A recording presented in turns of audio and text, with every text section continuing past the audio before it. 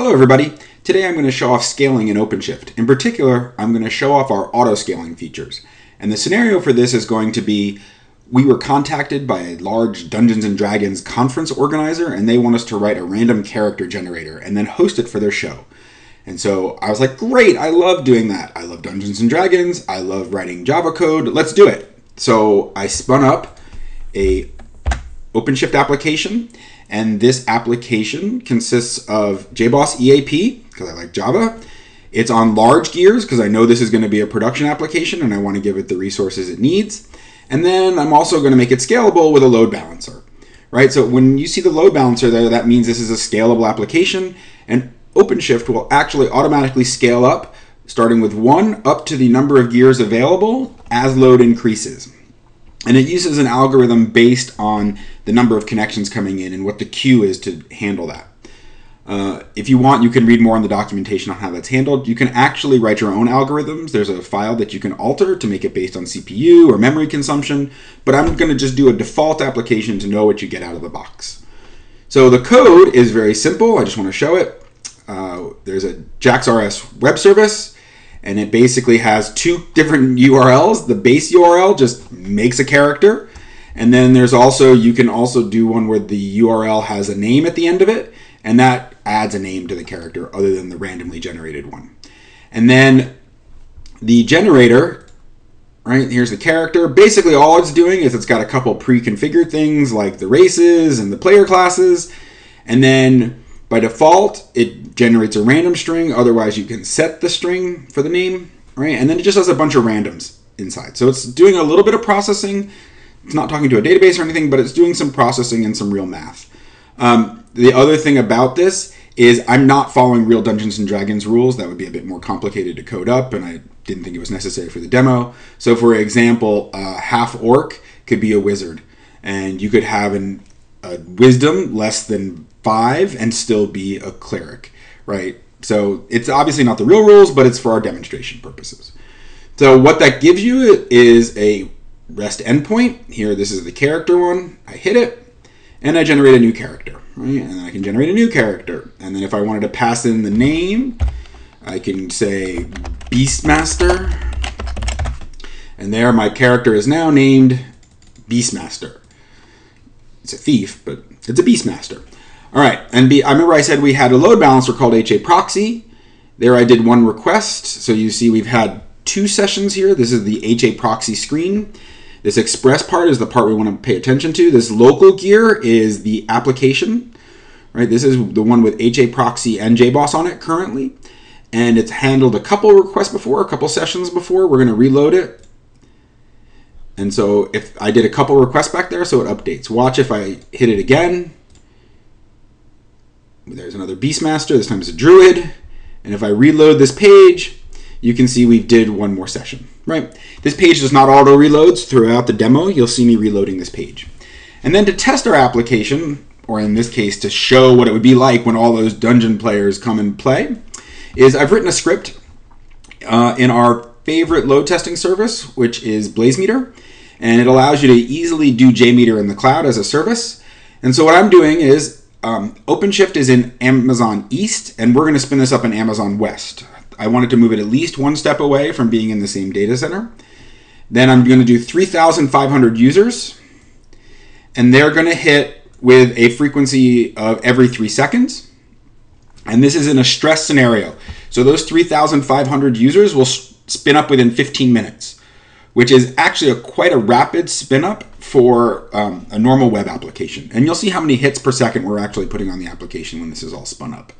And then we're going to hit all these different URLs, and it's going to go round robin. So there'll be some that'll be doing a random character, some will be Legolas, some will be Gollum, some will be Star Lord, some will be Bob, some will be Toriel. But it's basically, I don't want to make sure there's nothing cached, that we're going through a bunch of different stuff here.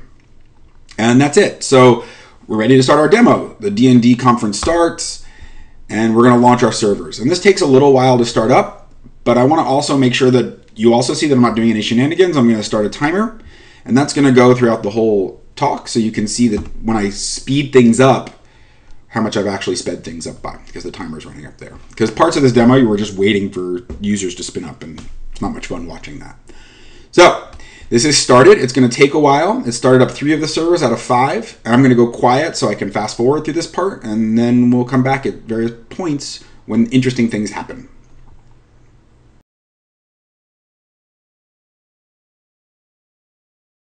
Okay, at this point, we've actually really got BlazeMeter going now. Uh, the blue dot represents the maximum number of users, which is about 11, and the green dot is the response time, and those will form lines as we move along.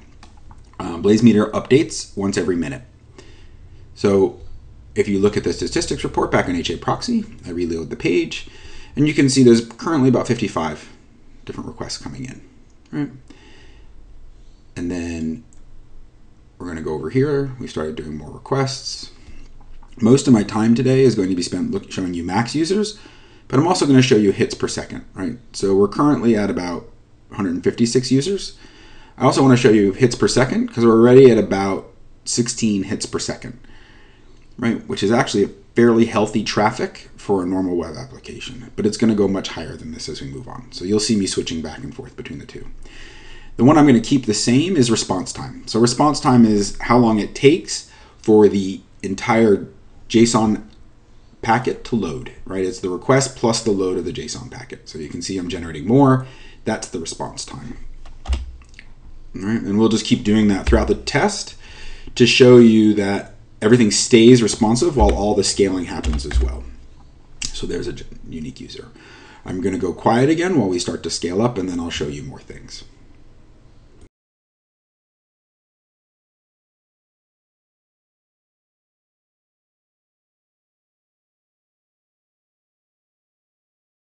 about halfway up our user ramp, the last time interval, which is the most accurate. These are always kind of in progress until the minute's done. This last time interval, we were hitting about uh, halfway there, and that also translates to about 354 hits per second, which is quite a heavy load. Um, but you can see that our scaling demo is still responsive in generating a new character, even with all the random stuff being generated. And if I go to HA proxy, you can see, we're still handling this just with one gear.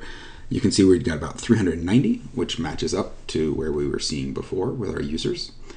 Um, no, not with our users, sorry, with the number of hits per second. And we're gonna wait now until we actually have a scaling event happen. Right now, there's no reason for us to scale up. I don't have to sit around and watch whether this is, needs to scale up or not. OpenShift is taking care of that for me. So when we hit a scaling event, I'll come back and we'll fast forward to there. Here we go.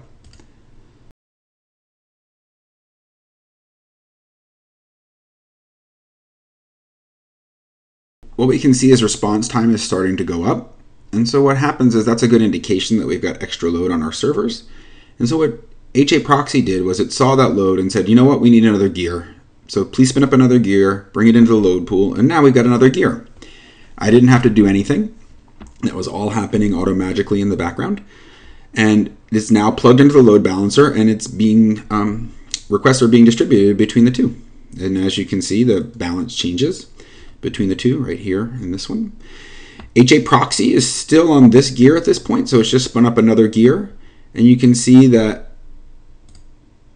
the app is still extremely responsive even with us serving up approximately 2800 2900 probably behind the scenes right now and hits per second, we're serving up at least 600 hits per second, which is a pretty hefty load for any web application. Granted, this application isn't doing much, but that's still a lot of transactions to process, or you could say requests to process. So that auto scaling event happened based on the algorithm set up without any human intervention. And you'll see that we've got a lot of load going here. So we're probably going to spin up another gear quite soon. Increase load as we start to get very close to our maximum number of users, we've actually spun up another gear. And something different happens at this point with the scaling algorithm. Once we actually need more than one extra gear, what happens is HA proxy gets put on its own gear, the original gear right here.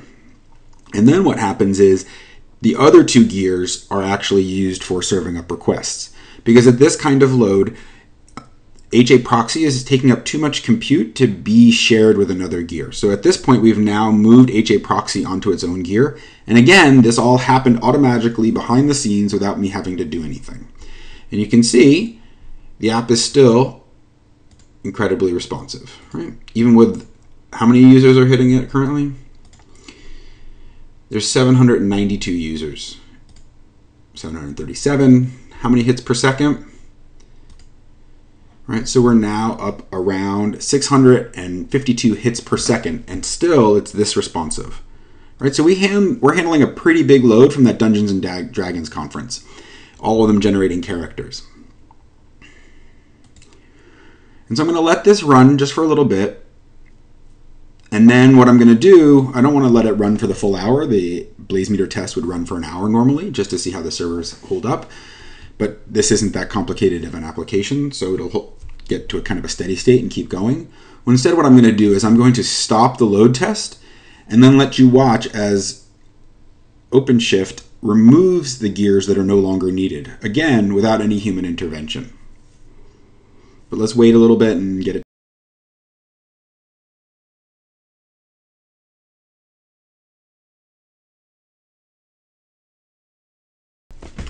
Okay, so it's been running for quite a while now.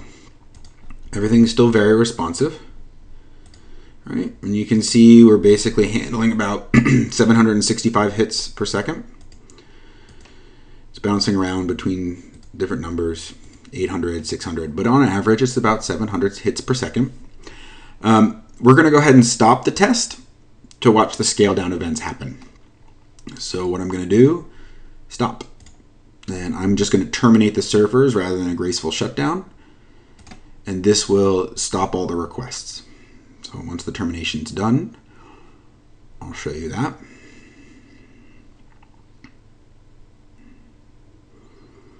Okay, so they should be terminated now. Let's see over in the HA proxy page. Yeah, so we've dropped to zero. Right? So there's no more load testing going on. It's stopped. And you could say, well, why isn't it scaling down immediately? Well, because in a real web scenario, what happens is there's peaks and troughs in traffic, and it's we don't want to just scale up and scale down and flap is what we call it. We don't want to flap around a lot. So what we do is we have a we wait a bit to see what the average income of traffic is, and then we'll scale down when it drops below a certain level. So it's going to take a little while for it to scale down, and it'll scale down one at a time. So again, I'm going to go quiet so we can fast forward and I'll see you when the next scale down happens. We've scaled down one gear automatically. There, now you can see we've put HA proxy back on the same gear and we're down one gear. And it's going to keep monitoring and seeing when the next scale down should happen. It should happen relatively soon since they scaled up relatively close together and the load turned off at about the same time. And there we go. We're back down to one gear. So you can see all of this scaling and capacity handling required no intervention, and it works excellent in a web scenario. Thanks, and